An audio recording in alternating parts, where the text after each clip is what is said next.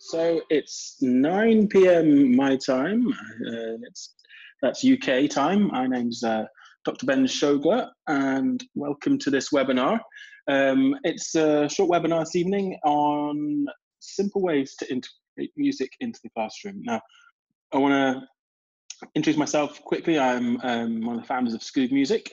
We create inclusive uh, music technology and are all about trying to facilitate creativity and getting more people engaged in making music, particularly young people, and uh, facilitating educators and really working on inclusion and interactivity. Uh, we've been doing that for many years, and I'm hopefully going to share some of the things we've learned along the way with you this evening. Um, quick sort of overview. So we'll look at quickly about some of the concepts around music and try and dispel some of the myths around that. And then I'm going to look at some examples, both low tech, low cost, and some involve some involving tech, some higher tech things, and how those can be um, impact in your classroom. And also, no need to be a music teacher. Um, this is uh, no experience necessary, but if you are a music teacher or you have a bit of musical knowledge or a bit of instrumental skill, these are things that you could really take further and, and, and, and go wild with. So yes, welcome. And if there's any questions, please just uh, enter them into the chat box uh, and the open questions and I can answer those as we go along. So hopefully my mic's picking up and recording. I'm not going to be sharing the screen of my tech this evening, um, and that's just because of a minor um, link up issue. I think I need to update my iPad, but uh, we're focusing on music and interactivity and making that easy. So first thing in terms of introducing that, I want to talk about um, music and, and, just think about it a bit and really sound in music. And what we're going to look at this evening is looking at um, music as something that you, it's not something, it's not about performing music, but think about music as something you take part in. So it's not about um, having to perform or hit some kind of standard. Music is something, it's human behavior. Music is something we do with other people.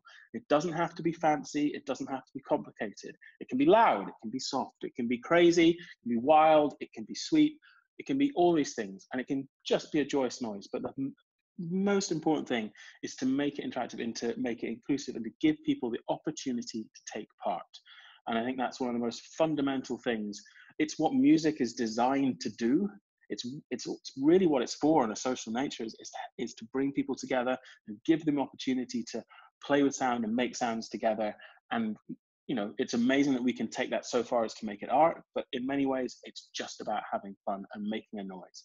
So let's think about music as something that we, we engage in and we take part in and particularly in the classroom. And it's that opportunity to create uh, uh, opportunities for social inclusion, for interactivity, to include everyone, and give students a chance to participate. That's what we're talking about.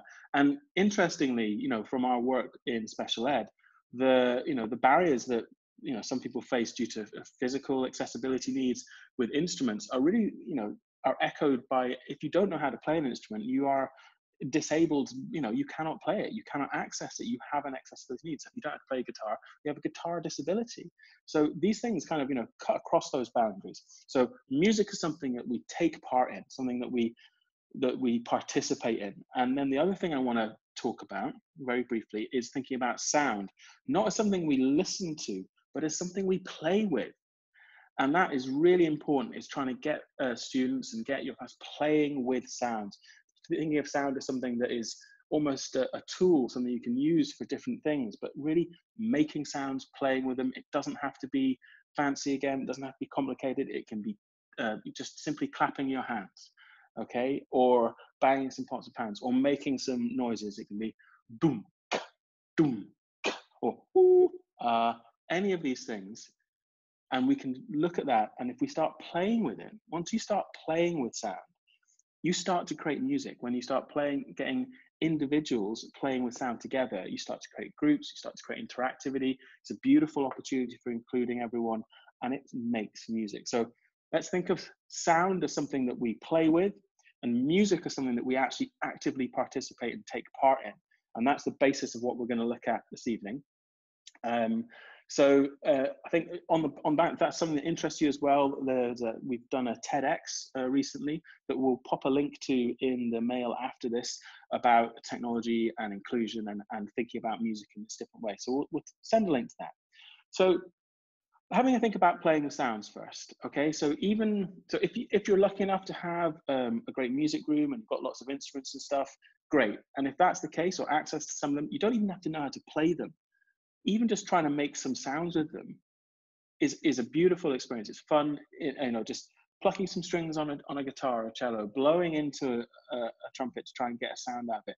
But just getting that playing with sound, exploring sound. It's very much it's it's almost innate. It's how we learn to talk, babbling, playing with sound, and engaging in these different ways.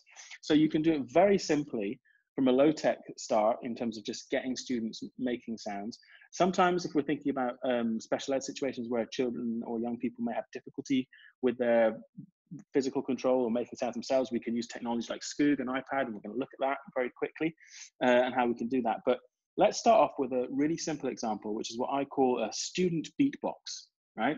Now, this is this this can work for young kids and for old kids, older kids as well. Really great thing. And what you what you're going to do is you know take a small group and say have have five students and give them each a sound. So right, your boom, your your so we have boom. So that's just we'll just do I'll just do three of them just now. But imagine giving students some different sounds. It can be any sounds, and then you get other students to hold the students who've been given the sounds hands right? So this student has that student's hand and holds out their hand here.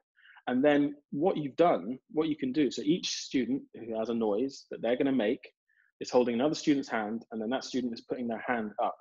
And then you can have yourself initially or another student, and you touch the hand of the students in the control spot. And they then, when they feel a touch on their hand, they will squeeze the student's hand. And that is the key for the student to make the noise. So when you get the hand squeeze, you go boom, or hand squeeze. And if you just, by breaking them up like that, giving each a single sound and having someone, you can just literally touch along the line and they'll squeeze, squeeze, squeeze, and you get boom, cats, boom, cats. You have a beat.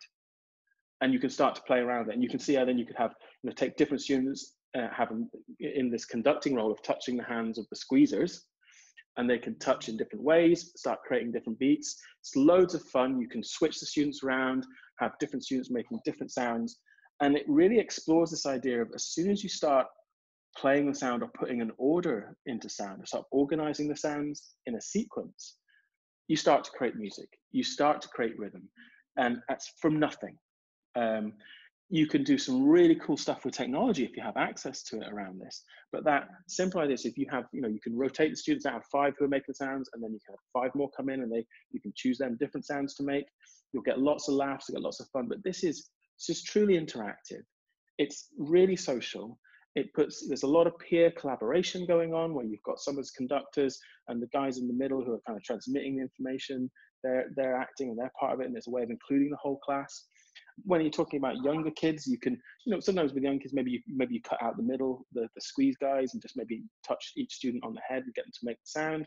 Loads of loads of ways you can see that working. You can use uh, color flashcards and create color sequences if you want, you know, so assign each student a color and then go blue, green, red, blue, and they play blue, green, red, blue. Loads of ways you can do that.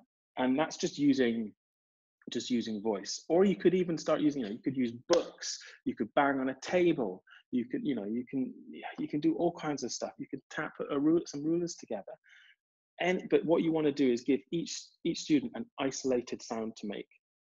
And then you take the so they're they're not having to play an instrument. They're not having to kind of be sort of something complicated. They just have to make that one sound.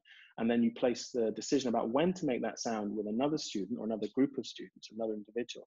And it takes that kind of social fear of am I doing it right? And you're just so you're, you know, okay, when when you feel the squeeze, you make the sound and someone else is putting it together. It makes it social, it makes it easy for everyone to be involved. So that's a really great low-tech example of playing with sound. Let's let's involve a bit of tech now. I have a Skoog here set up. There we go. Let's get this on. And Skoog is a tactile interface specifically designed for uh, a range of abilities. It works great if, uh, for those with physical challenges or learning difficulties, or just if you don't know how to play an instrument. So this works great in a mainstream class as well.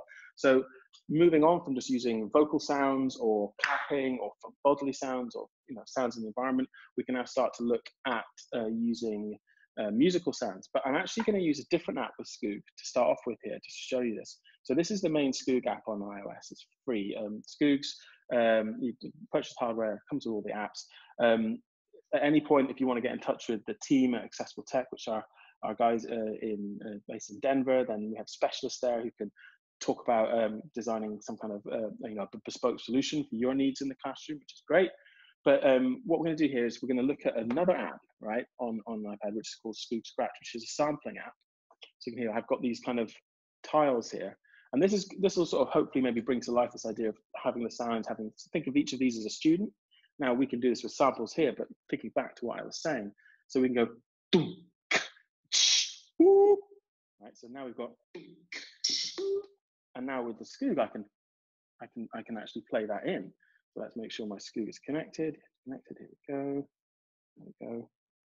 Calibrate it and.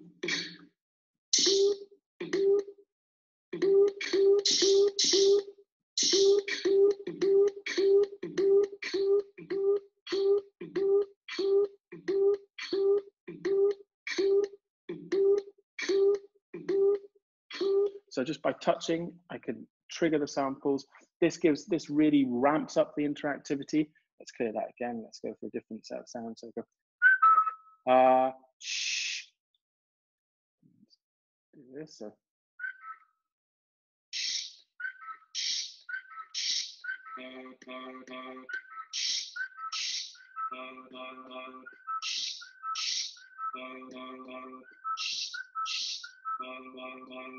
We've got a little piece of music happening. Now, Scratch is great because it incorporates a recording function. So you could have that running.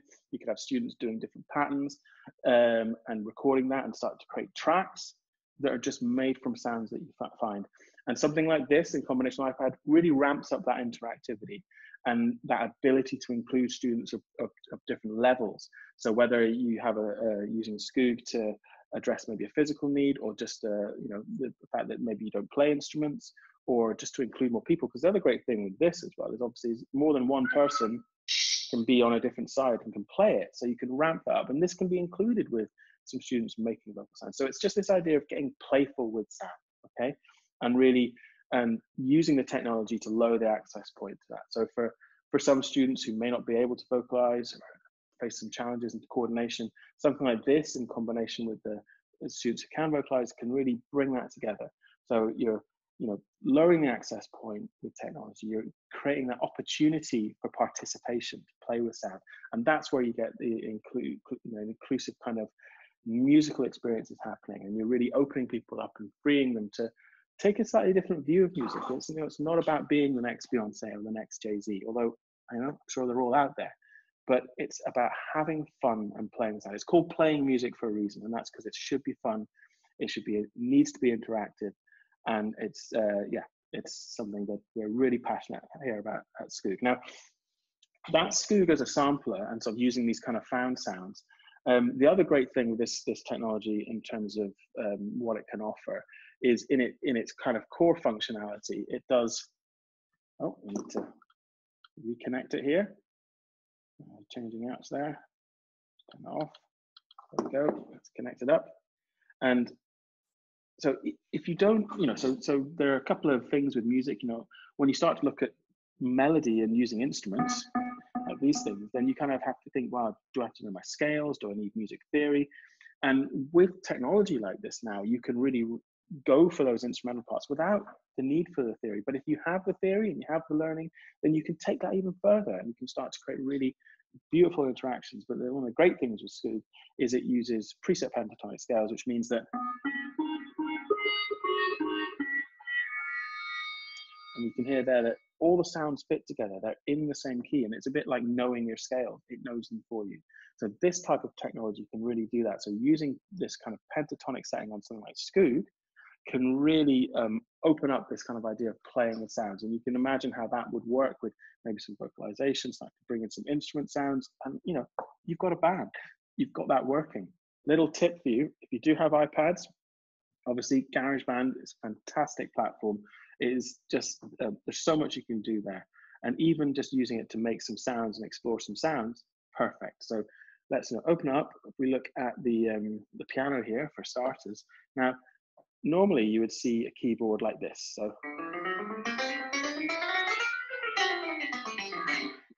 now it's got all the, the keys, and, but you know, it's like how do you start to get sort of more playful with that?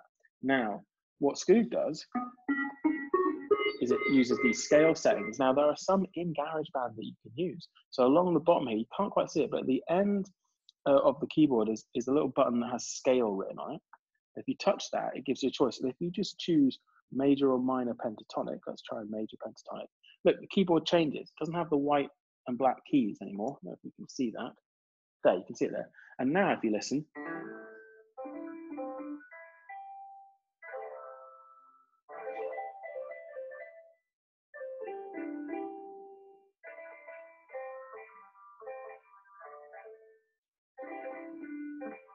I mean, uh, I sound like I know what I'm doing.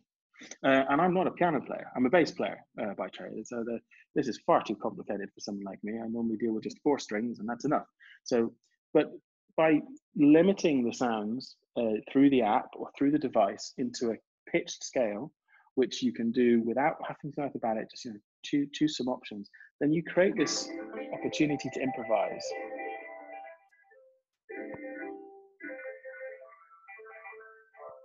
and play with some sounds. Now, GarageBand has hundreds of sounds. You can access all of those with Skoog.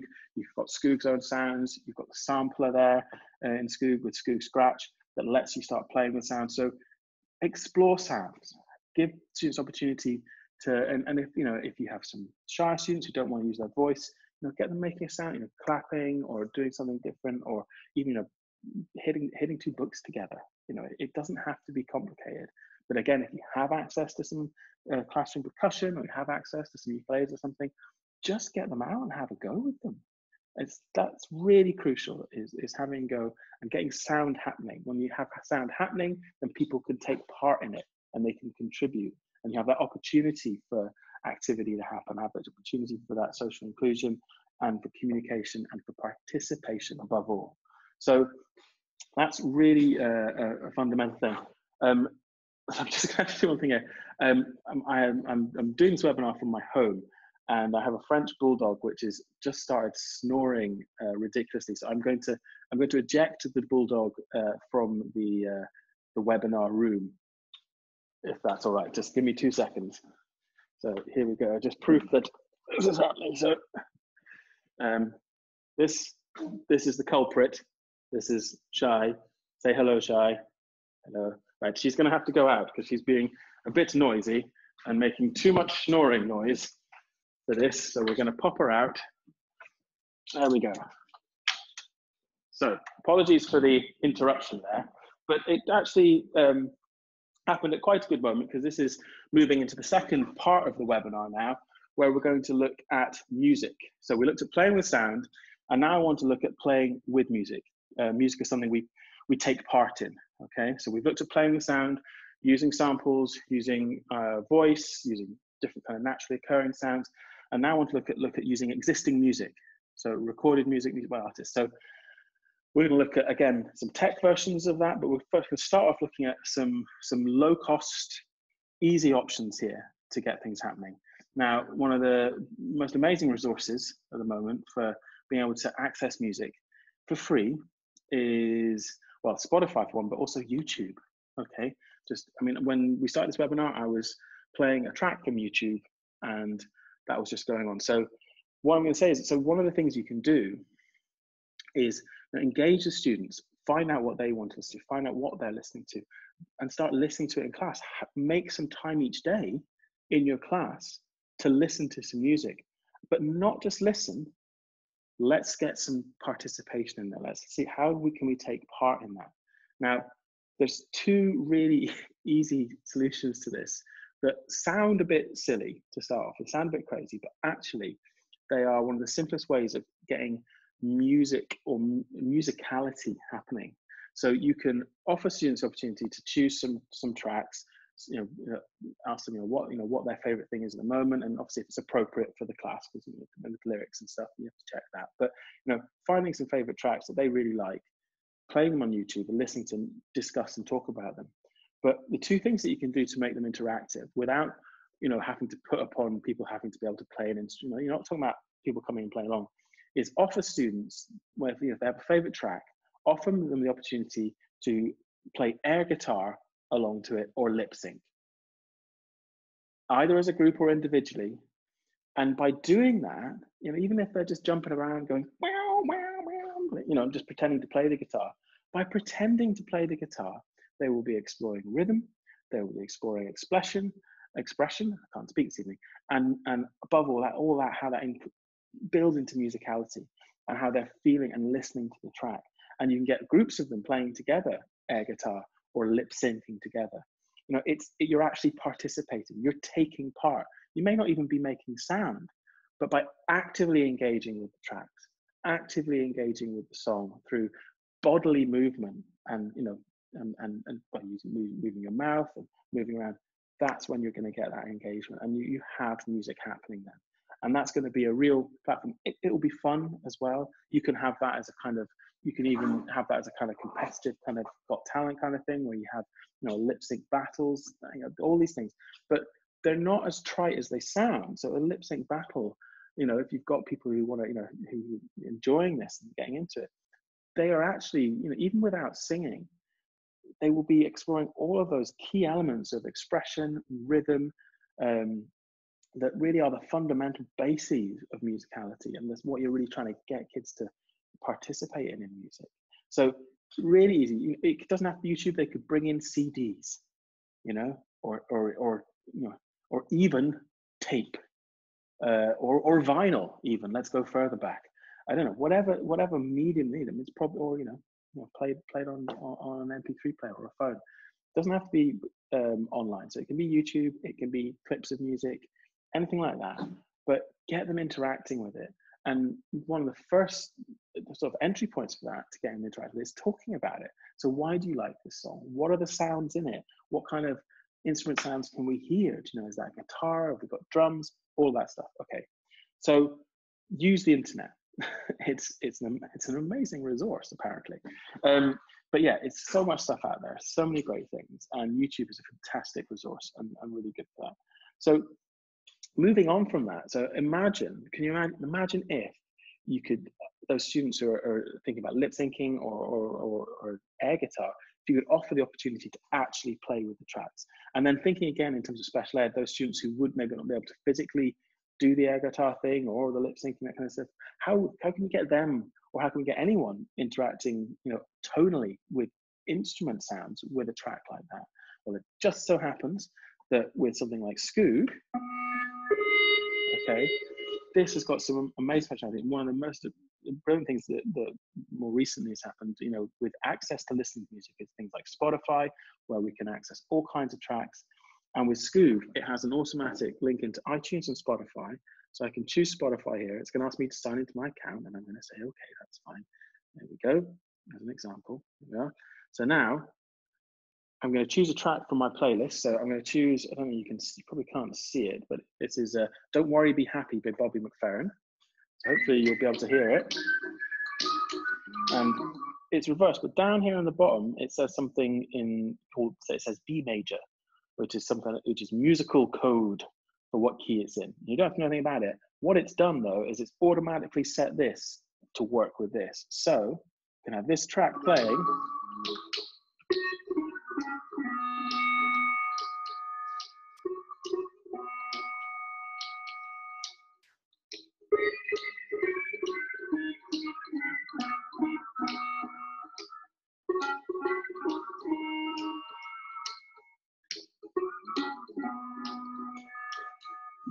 and it works. So that can be that enables any student. So the, the accessibility of Skoog for younger users, it's very easy to trigger and make sounds. Just have to touch it. Can use with you know different parts of the body, or students who don't have instrumental skills can immediately begin playing with the music that they want to listen to. So this this this kind of platform, this idea of making music participatory, playing with it as opposed to just listening to it, you know, you don't have to be creating it all from scratch. You don't need a full orchestra. You don't need a band with everyone there. Although if you've got those things, fantastic. Make use of them.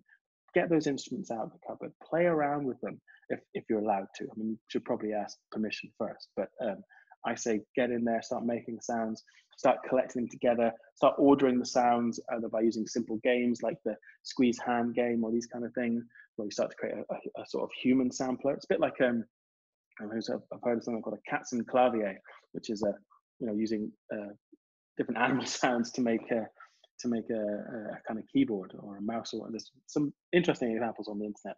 So let's make music interactive, and it and it doesn't have to um, you know be complex. And there's technology now like Skoog and GarageBand that make that that bridge into it uh, using technology ever so simple, you know, uh, and really ramps up the interactivity. Um, if you have music specialists available to you, then they're going to take this type of approach, or they're going to, and they can take that so much further, and really engage, you know, things and take that learning, you know, that experience and that passion further. But it really is about making that point of interaction available in your class. Listen to some music every day. Make time for music each day. Let the students be involved by letting them choose what music they want to share. You know, give them that opportunity to explore that, you know, different these different kind of cultures and things. So um, that's that that's the two kind of key things that I wanted to really talk about is you know playing with sound in a variety of different ways with just voice by using things like uh, Scratch on on a, on iPad, using GarageBand, or just using uh, things from the classroom to make sounds. Look at ways you can order those sounds. You can really cool thing you can do as well is is using a dice uh, to sort of create a composition. So you can, you know, just, you know, by saying, well, we'll make this sound one, this sound two, this sound three, this sound, you know, assign a number, roll the dice a few times, write the number sequence out, and there you've got the pattern in which to play the sounds that you've divided up. Composition by chance. It's it's like it's like John Cage, you know, a, a top composer. That's that's one of the you know, please explore these different things.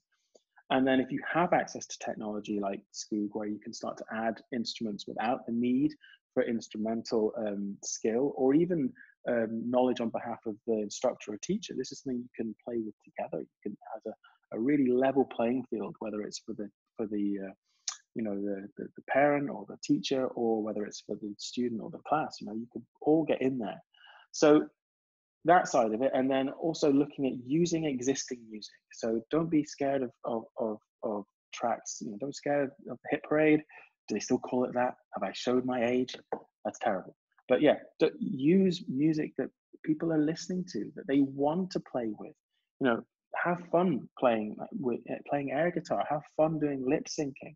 All of these things bring that bring that interactivity into it, and you will be musicking. It doesn't have to be um, Tchaikovsky at, at the Royal Philharmonic Hall. It can be a bunch of you making kind of funny noises with your mouth at the back of the class. That that's fine. In fact, maybe it's better. So make it interactive. Use existing materials. Use music you, you, that people are listening to. Make it age appropriate and culture appropriate in that sense. You know, if people are are, are into grunge, then then let explore that. Let's let, let the class go down that avenue. You can use technology like GarageBand and, and, and to really ramp that up and create that interactivity, start recording sounds, playing with them, recording stuff. And then one last uh, little thing um, just to touch on, which I think is probably quite cool. Um, let's have a look at how Garage uh, can work with GarageBand very quickly to take those two elements of playing with sound and working with kind of existing sound, existing music and stuff to kind of create instruments. See if we can do this very quickly. So we've got, got my Skoog here, it's connected up. I'm going to turn MIDI on in my Skoog and turn sound off. So this just means now I can play in GarageBand. Now I've got GarageBand open on the piano just now. So now I can play the piano with GarageBand. But that's not what I want to do. What I want to do now is GarageBand also has a sampler. So if we go in here, what sampler does is record sound and then it kind of spreads it across the keyboard to make notes. So what we can do now is we can record a sound and make an instrument out of a sound that we just create. So we're going back to that first point where we started of getting students to create sound and play with them. And we're going to turn that into an instrument that we can play. So an exciting thing for that is you can, you know, take a voice of a student. Now, whether that's a student who doesn't vocalize and has challenges and give them the opportunity to be musical with their own sound, or whether it's just having fun by taking a student's voice and making it sound crazy. So let's let, us let us make a sound. So let's try this. So there's a start button here, dead simple, just touch it and ha. So there we've got a sound.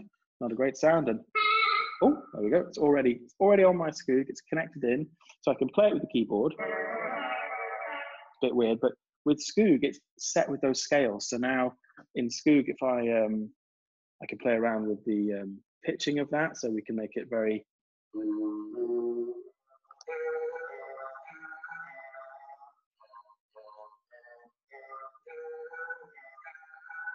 pretty cool. Okay, or we could make me sound like Alvin. Oh, that's too, that's like a bat. It's too high. Bit too high still. Let's try this.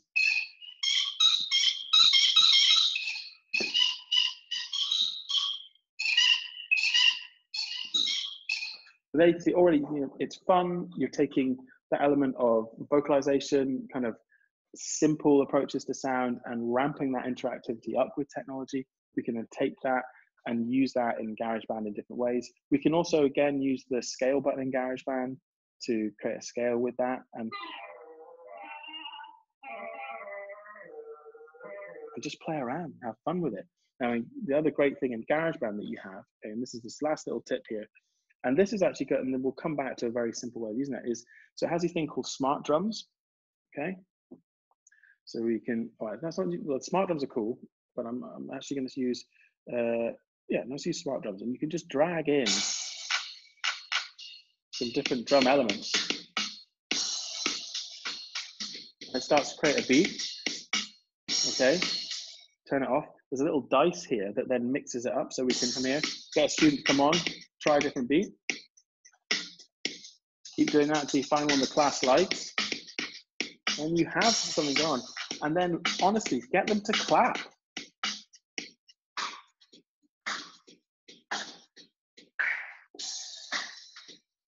something as simple as clapping to a beat is music, it's timing, it's expression. It can be a group activity. You can syncopate it and it's using some existing. So this gives, I mean, something like the smart drums and GarageBand is an infinite number of different beats and drums and sounds and styles that you can explore kind of even randomly if you like with the class, you know, giving each, you know, each day, you know, have someone else choose one of the, the beat settings and then getting everyone, you know, break the, the class up into two halves and getting one to kind of clap with one one drum sound, one to clap with another, and and sort of having them kind of you know teeing off against each other.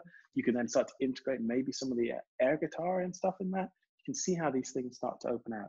And if you have the opportunity to incorporate other technology like Skoog or other iPads and other GarageBand instruments, then you've got a real opportunity to involve everyone uh, and create a platform for kind of a really explorative approach to music and a really creative approach. I mean, it's free and allows people just to run with it. So that's um, that's my kind of tips there, uh, and I think uh, that's as the half an hour tips on looking at different ways to, to, kind of bring music into the classroom. I think hopefully you found it engaging and useful, and uh, hopefully you know it's a, a nice mix of some tech and some high tech and low tech. So whether it's some simple games using voice, using found sounds, using physical things in the class, or whether it's using technology like Skoog or iPad and GarageBand, then uh, there's a range of different ways you can incorporate this stuff in.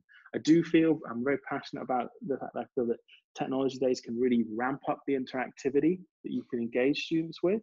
And uh, I think that's a, a huge benefit nowadays.